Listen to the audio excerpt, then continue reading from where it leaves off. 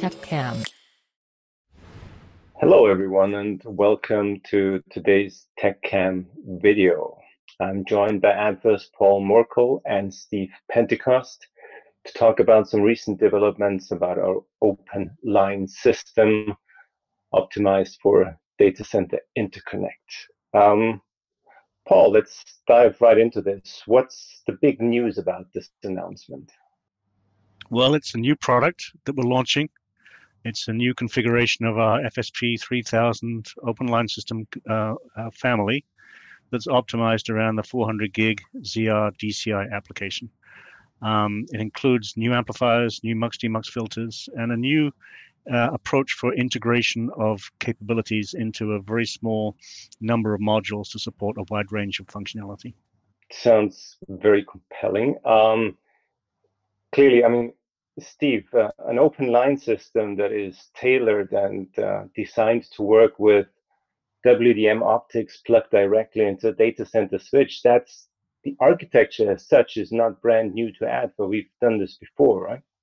Absolutely, yeah. I mean, I think we were the people that pioneered the whole open line system concept with um, plugs into switches and routers, and we certainly had some success with the first generation 100 gig uh, direct detect solution. Uh, it was PAM4 based, so it, it made things a little bit more complicated. We needed to have dispersion compensation and other bits and pieces, but really gave us an opportunity over the last four years to understand how hyperscalers and other customers put these things into networks, how they operate them, how they automate them, and really gave us an advantage to be able to understand uh, exactly how to simplify the overall uh, network architecture.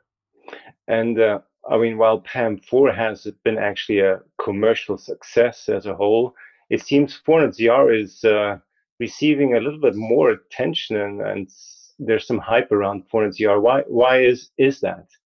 Well, I think the the original um, PAM4 solution was quite complex, so the performance wasn't so good from the plugs.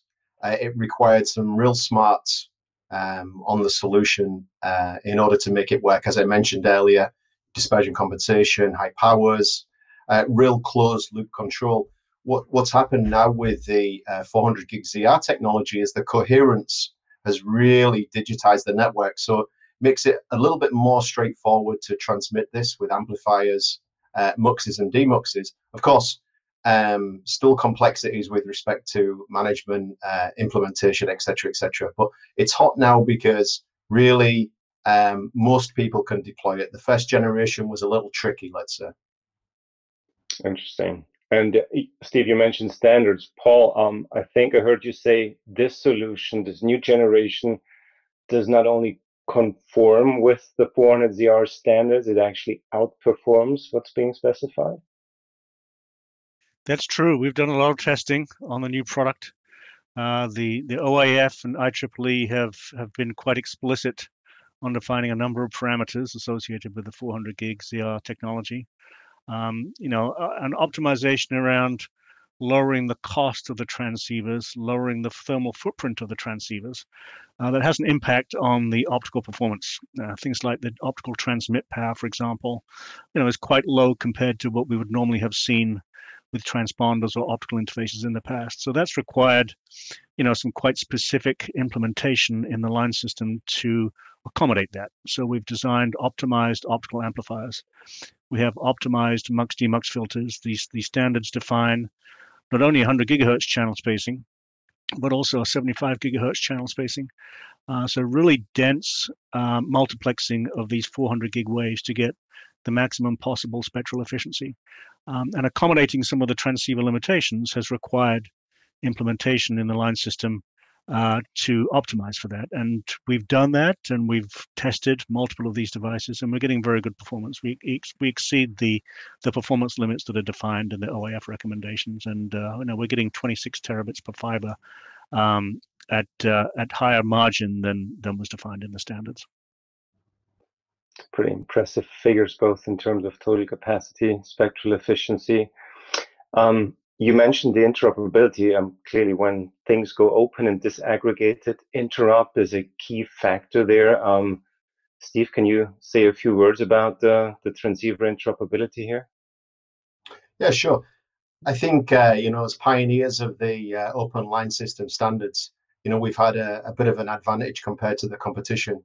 Uh, we have good relationships with the uh, switch and router guys, but also very good relationships with the the uh, vendors that provide the plugs, uh, the third-party transceivers, 400 gig ZR devices, and we've done a lot of work, a lot of interoperability testing, um, a lot of activities, making sure that the performance is aligns with the uh, OIF standards and also that we get and exceed what we need to do from a line system perspective. So we've worked with the usual suspects, obviously Acacia, Inphi.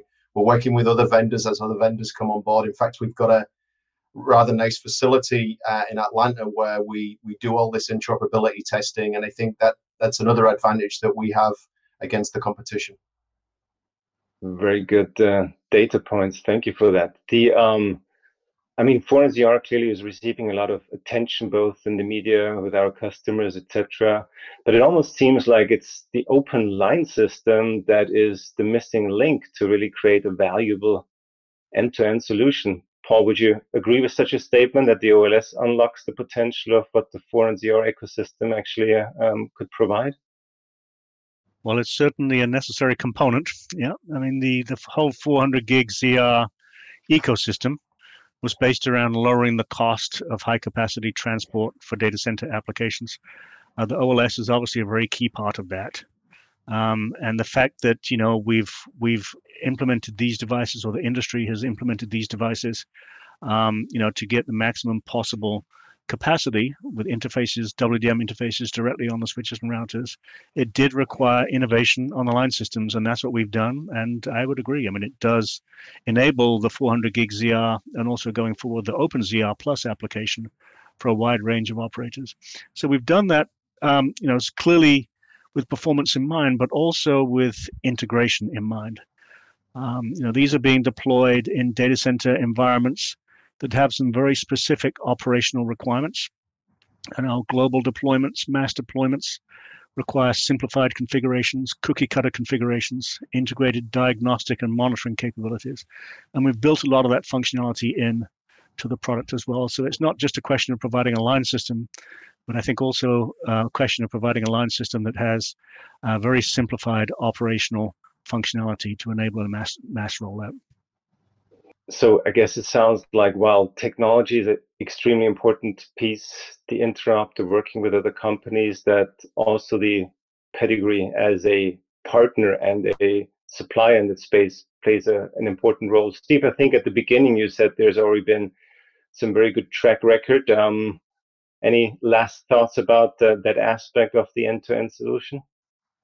Yeah, I don't. I, I think it can't be underestimated the amount of value and experience you know, I think uh, if you look at Adva and what we've done in this space, uh, whether it be the hyperscalers or some of the smaller guys, we've certainly deployed more of these open line systems than any other vendor to date. We've deployed thousands of these in the hyperscale space, the first generation. And I think that gives us a key advantage, uh, understanding operationally, uh, simplifying things, understanding how they manage things, understanding APIs and everything else. And I think it's key when you look at the vendors and the solutions that you choose a partner that's really got that experience that you know a few years has brought to the table. And it's not just about the optical layer it's about how you manage it the software you know having the capability to do the interoperability testing having the experience etc i think that was a very good closing statement. Thank you for that. Well gentlemen thank you both for your time for the additional insights and the different perspectives on this new announcement. Um, I really enjoyed our little conversation here. And uh, with that, um, have a very good rest of your day. Mm, bye for now.